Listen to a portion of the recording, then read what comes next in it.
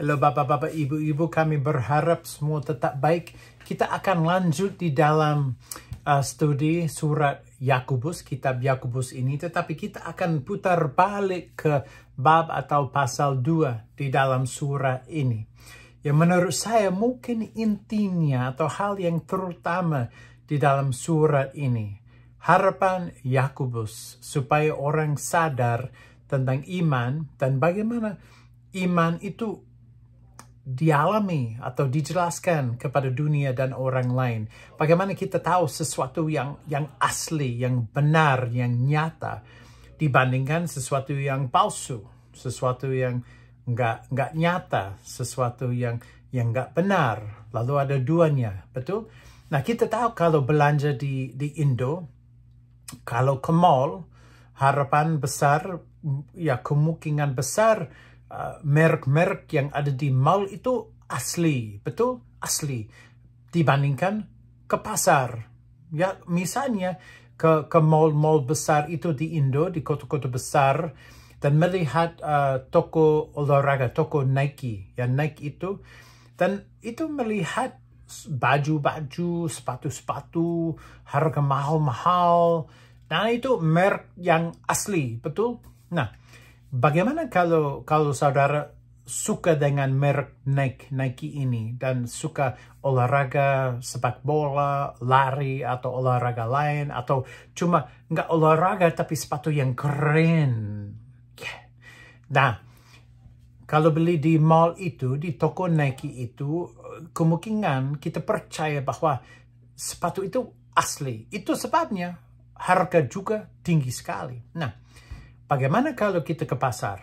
Nah, pasar itu bukan pasar besar, pasar kecil, jalan agak kotor, maaf, gotnya penuh dengan air, ada baunya, dan macam-macam barang di pasar itu. Nah, kita jalan-jalan, kita lagi melihat sepatu Nike itu yang sama. Aduh, lihat sepatu itu Nike itu. Gimana harganya, Pak? Bagaimana harganya, Mbak? Oh, harga segini. Aduh, murah sekali. Kenapa?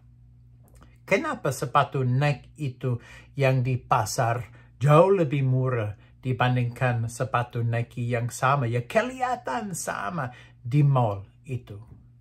Ya, karena satu palsu. Satu asli. Nah, bagi Yakobus, Yakobus merasa orang juga sama. Ada orang yang ngomong-ngomong tentang Allah, ngomong-ngomong tentang iman mereka, tapi sebenarnya palsu. Ini cuma ngomong kosong, ini cuma kata-kata, tapi nggak kelihatan melalui perbuatan mereka. Nah, dengan manusia, kita ada orang yang sebenarnya seperti Nike yang di pasar itu yang palsu. Tapi juga ada orang yang asli, yang benar, yang yang murni, yang enggak palsu dan mereka sungguh-sungguh mereka seperti sepatu Nike itu di mall. Itu sebabnya Yakobus menjelaskan bagi kita, bagi orang, bagi manusia, enggak cukup ngomong bahwa you percaya sama Allah. Enggak cukup. Sebenarnya ada iman yang palsu, yang nggak benar, nggak nyata. Tapi ada iman yang benar, yang asli, yang yang sungguh-sungguh. Lalu mari kita melihat di Yakobus 2 ayat 14 sampai 26. Kita akan membaca 1, 2, 3 ayat sekalian dan ada penjelasan dan kita akan lanjut. Nah, saya mau membaca dan memulai dengan ayat 14. Dan cuma 14 karena intinya di dalam ayat ini cukup berat, cukup penting menurut saya. Nah, saya cuma mau membaca dua pertanyaan ini. Dan setelah itu coba men menjawab. Bagaimana Yakobus berharap kita menjawab dua pertanyaan ini. Ayat 14 berbunyi. Oh, maaf, bahasa Indonesia. Apakah gunanya saudara-saudaraku jika seorang mengatakan bahwa ia mempunyai iman padahal ia tidak mempunyai perbuatan? Bagaimana? apa gunanya? Dapatkah iman itu menyelamatkan dia? Bisa nggak? Menurut Yakobus, nggak bisa. Nggak ada gunanya sama sekali. Karena kita tahu kalau ada orang yang sungguh-sungguh bukan dari mulut mereka aja, tetapi dari perbuatan di dalam kehidupan mereka. Nah, kita lanjut ayat 15 sampai 17 yang berbunyi, Jika seorang saudara atau saudari tidak mempunyai pakaian dan kekurangan makanan sehari-hari, dan seorang dari antara kamu berkata, selamat jalan, kenakanlah kain panas dan makanlah sampai kenyang. Tetapi ia tidak memberikan kepadanya apa yang perlu bagi tubuhnya, apakah gunanya itu? Demikian juga halnya dengan iman. Jika iman itu disertai perbuatan, maka iman itu pada hakikatnya adalah mati. Lalu, kalau kita lewat seorang yang ada kekurangan, nggak ada baju, atau baju jelek, kotor, nggak ada makanan, atau makanan nggak cukup, atau makanan nggak sehat, nggak cukup sehat, dan kita lewat atau kita cuma ngomong, ah, aduh kasihan ya, maaf ya, ah, saya akan berdoa. Ya, kalau nanti malam saya berdoa, saya akan berdoa buat you bapak atau ibu atau teman atau mbak mas. Saya akan berdoa. Tapi kita mampu untuk menolong. Saya ada jaket, saya ada kaos, saya ada sepatu, dan saya bisa kasih. Dan gak keberatan bagi saya. Karena saya udah banyak atau saya udah cukup. Atau saya ada makanan dan saya gak membagi makanan itu. Atau saya ada uang dan saya gak kasih uang. Menurut Yakobus, iman itu mati. Gak benar, gak asli, gak nyata, gak hidup.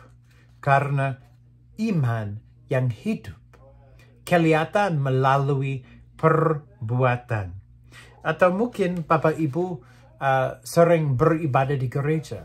Itu seperti hadir di ibadah di gereja dan nyanyi-nyanyi amin, amin, haleluya, haleluya, puji Tuhan, puji Tuhan. Kelihatan hidup, kelihatan nyata, benar, sungguh-sungguh. Tapi pulang dan ada masalah besar di rumah tangga, teriak-teriak, pukul-pukul istri atau anak-anakmu, nggak nyata imanmu. Atau kita masuk kantor dan kita mencuri, atau kita kurang kurang jujur, nggak nyata iman itu. Menurut Yakobus karena iman harus kelihatan dari perbuatan kita. Nah, di dalam Matius 23 Yesus juga menjelaskan di ayat 26 dan 28 di mana dia melihat hal ini terjadi.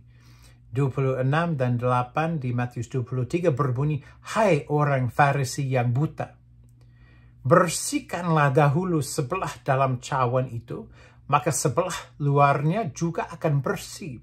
Demikian jugalah kamu di sebelah luar kamu tampaknya benar di mata orang, tetapi di, di sebelah dalam kamu penuh kemunafikan dan kedurjanan.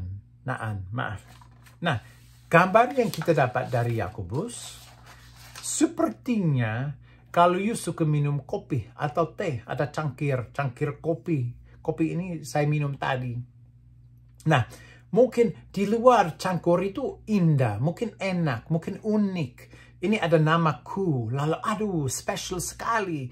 Dan melihat di luar, dan orang melihat, aduh keren sekali, aduh ada namamu, kok kenapa? Oh aduh warna ini, aduh dari Bali, oh you jalan-jalan ke Bali, aduh you keren. Aduh kelihatan enak di luar. Tapi melihat di dalam, aduh hitam sekali. Karena you nggak membersihkan di dalam. Atau mungkin kopi terlalu lama di dalam dan walaupun di luar kelihatan keren atau bagus, waktu you melihat di dalam, you nggak mau pakai cangkir ini nggak mau, kotor.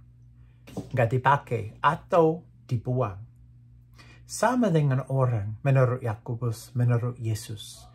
Di luar sering sekali kita kelihatan, amin, haleluya, puji Tuhan, semua baik-baik aja, dan saya orang yang baik juga, dan saya percaya, dan saya mengikuti Yesus, dan sebagainya. Tetapi yang keluar dari per kehidupan saya, perkataan saya, dan perbuatan saya nggak sama yang saya ngomong.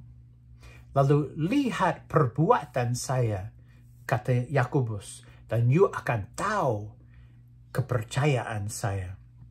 Memang sangat penting menurut Yakobus. Nah, kita lanjut di ayat 18 dan 19, 19 yang berbunyi, tetapi mungkin, mungkin, mungkin ada orang berkata, padamu ada iman, dan padaku ada perbuatan. Nah, maksudnya Yakobus seperti ini. Aduh, saya saya orang yang nggak nggak terlalu berinisiatif. Lalu saya saya nggak nggak melakukan hal seperti you you goer, you you you pelaku, you you berinisiatif untuk melakukan banyak hal, tapi itu bukan saya. It, itu sepertinya maksudnya Yakobus. Kadang-kadang kita ada pola pikiran, aduh orang ini sering melakukan hal, tapi saya bukan seperti mereka. Nah, Yakobus nggak setuju. Nah, kita lanjut. Aku akan menjawab orang itu tunjukkanlah kepadamu imanmu itu tanpa perbuatan. Dan aku akan menunjukkan kepadamu imanku dari perbuatan-perbuatanku. You mungkin ngomong-ngomong, tapi bilang, aduh saya nggak seperti pelaku, nggak, nggak ada perbuatan. Tapi yang saya akan lakukan, lihat perbuatanku, dan you akan tahu imanku. Engkau percaya bahwa hanya ada satu Allah saja. Itu baik. Tetapi setan-setan pun juga percaya akan hal itu dan mereka gementar. Yang menarik sekali di sini, setan-setan itu roh-roh jahat. Mereka percaya, mereka tahu ada Allah. Dan mereka tahu ada Allah sampai gementar. Kata gementar itu seperti kalau kita takut dan dan bulu-bulu di di leher atau bulu-bulu di tangan atau kalau ada bulu-bulu di, di kepala. Kalau kalau kita takut dan itu berdiri agak bring, ay, kayak itu. Itu maksudnya dengan kata gementar itu. Lalu roh-roh jahat kalau mereka mem memikirkan, membayangkan atau mendengar kata Allah. Gung. Nah, karena mereka tahu dia yang maha kuasa. Nah, padahal kita sering nggak ada emosi kayak itu. Tetapi mereka tahu dengan pasti itulah Allah. Kita sering ngomong kita percaya kepada Allah. Lalu apa perbedaannya? Apa bedanya? Bedanya menurut Yakobus, orang percaya anak-anak Allah ada perbuatan supaya kepercayaan jelas melalui perbuatan. Nah, kita harus melihat dan harus sadar orang yang harus menjadi orang yang paling baik. Suami istri yang harus menjadi suami yang paling baik, pekerja yang paling baik, murid yang paling baik adalah anak Allah. Kenapa? Karena Allah maha baik. Betul? Orang yang harus cepat mengampuni harus menjadi anak Allah. Karena kenapa? Allah sendiri cepat mengampuni. Kalau kita cepat menerima orang, itu jelas karena Allah cepat menerima orang. Lalu kita harus melihat melalui perbuatan apakah kepercayaan kita. Nah, di dalam perikop dan pasal ini, Yakobus sekarang menggunakan dua contoh bagi kita. Di dalam ayat 20 sampai 24 berbunyi, Hai manusia yang bebal, maukah engkau mengakui sekarang bahwa iman tanpa perbuatan adalah iman yang kosong? Ya, harapannya iya, itu iman yang kosong kalau tidak ada perbuatan menurut Yakobus. Bukankah Abraham, bapa kita, dibenarkan karena perbuatan-perbuatannya ketika ia mempersembahkan Ishak, anaknya, di atas mezbah? Kamu lihat bahwa iman bekerja sama dengan perbuatan-perbuatan dan oleh perbuatan-perbuatan itu iman menjadi sempurna. Lalu kita ada contoh pertama. Yang pertama Abraham dan dia siap mempersembahkan Ishak. Dan itulah perbuatan, itulah kegiatan. Kenapa? Karena kepercayaan dia. Karena dia percaya bahwa Allah bisa membangkitkan anak dia. Dia siap mempersembahkan anak itu. Tetapi mungkin, mungkin kalau kita percaya sama kitab suci, waduh, Abraham itu itu Bapak kita, Bapak iman kita, dia orang yang sungguh-sungguh, dia orang yang yang tahu dengan dengan pasti dan sempurna. Aduh, dia orang yang yang saya hormati seperti dia pendeta atau something seperti itu ya. Aduh, saya nggak sama. Sepertinya, ya sepertinya kalau ada uh, suka sepak bola, ya mungkin ada ada Ronaldo atau ada Messi, ya Walaupun saya suka sepak bola, nggak mungkin saya sebaik mereka main bola. Nggak. Walaupun saya main bola lama, saya lawan mereka pasti kalah. Ya, kalau ada pertandingan, Steve melawan Ronaldo, siapa akan menang? Oh, jelas, Ronaldo. Nah, di dalam iman, sering sekali mungkin kita merasa, oh, Steve melawan Abraham. Aduh, saya kalah. Dia yang punya iman. Nah, mungkin you merasa seperti itu. Nah, kalau you merasa seperti itu, Yakobus menggunakan satu orang lain.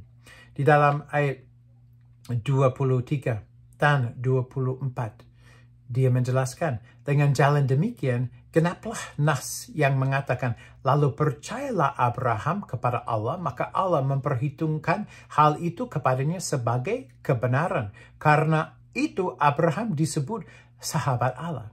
Jadi kamu lihat bahwa manusia dibenarkan karena perbuatan-perbuatannya dan bukan hanya karena iman. Dan bukankah demikian juga Rahab? Siapa Rahab? Pelacur. Tetapi dia menjadi contoh bagi kita orang yang beriman. Dengan perbuatan Bukankah demikian juga Rahab pelacur itu dibenarkan karena perbuatan-perbuatannya. Ketika ia menyembunyikan orang-orang yang disuruh itu di dalam rumahnya, lalu menolong mereka lolos melalui jalan yang lain. Ya, lalu ada pelacur dan ada orang luar biasa iman seperti Abraham. Lalu kalian merasa enggak bisa membandingkan aku dengan Abraham karena Abraham orang besar. Enggak apa-apa membandingkan you dengan pelacur. Di mana you? Mungkin di antara mereka. Orang yang beriman luar biasa seperti Abraham atau pelacur. Mungkin saya enggak sebaik mereka, tapi saya lebih baik daripada pelacur mungkin. Maksudnya Yakobus pasti kita di antara mereka. Tapi mereka beriman. Itu intinya bagi Yakobus. Mereka beriman. Dan itu jelas karena perbuatan. Lalu kita bisa tahu siapa yang beriman karena kita bisa melihat perbuatan yang menjelaskan, yang mencerminkan kepercayaan. Lalu nggak penting siapakah saya, siapakah mereka, siapakah pelacur. Yang penting, perbuatan.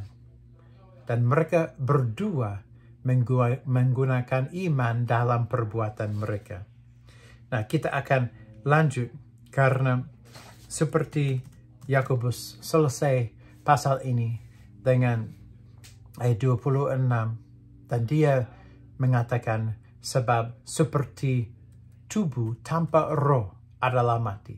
Demikian juga iman tanpa perbuatan-perbuatan adalah mati. Nah, kalau kita ingin tahu maksudnya Yakobus, hatinya Yakobus, harapannya Yakobus, orang bisa tahu Allah itu baik karena perbuatanmu itu baik. Karena kalau you bilang ada iman, tapi you nggak ada perbuatan-perbuatan baik, imanmu sama seperti tubuh tanpa nafas, mati. Kalau mati, mati. Nggak ada, nggak ada gunanya. Nggak bisa melakukan apa-apa. Nggak ada hasilnya. Nggak ada masa depannya. Karena mati. Nah, iman dengan perbuatan-perbuatan adalah iman yang hidup. Itu keputusan kita.